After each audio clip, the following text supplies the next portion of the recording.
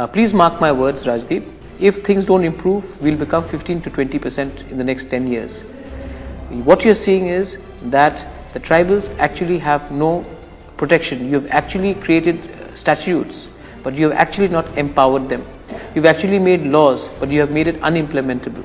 So, what we are asking for is legislative powers with powers to enforce these laws that we make, independence and autonomy in making these laws and implementing them, which hasn't happened.